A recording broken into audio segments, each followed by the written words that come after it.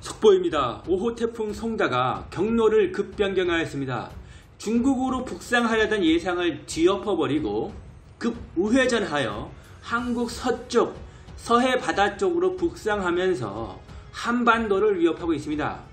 오늘 토요일 30일 12시 기준 일본 가고시마 서쪽 약 410km 부근 해상에서 시속 2km의 이송 이동 속도로 서북 서쪽으로 이동하고 있습니다. 5호 태풍 송다는 오늘 30일 저녁 9시에 중국 상하이 동쪽 약 70km 부근 해상에 위치하겠고 31일 오전 9시에는 중국 상하이 북동쪽 약 20km 부근 해상 31일 저녁 9시에는 중국 산둥반도 칭다오 동남동쪽 약 320km 부근 해상 8월 1일 다음 달 오전 9시에는 중국 칭다오 동쪽 약 29km 부근 해상에서 열대 저압부로 약화될 전망입니다. 제5호 태풍 송단은 베트남에서 제출한 이름으로 강의 이름입니다.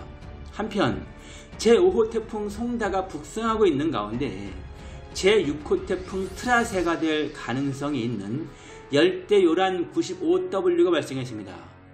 만약 태풍으로 발달한다면 6호 태풍 트라세가 될 95W 열대 요란은 현재 동경 130도 부근 해상에 위치하고 있으며 강도는 15KT입니다. 현재 필리핀 루선섬 먼 동북동쪽 해상에 위치하고 있습니다. 현재 미 해군 합동태풍경보센터는 95W 열대 요란에 대하여 LOW로 분석하고 있습니다. 일본 기상청의 일기도를 보면 95도블 열대 요란에 대하여 중심기압 1200헥토파스칼의 열대 저압부 TD로 해석하고 있습니다. 시청해 주셔서 진심으로 감사드리겠습니다. 구독과 좋아요, 알람 설정을 꼭 부탁드리겠습니다. 이 채널을 운영하는데 큰 힘이 됩니다. 감사드립니다.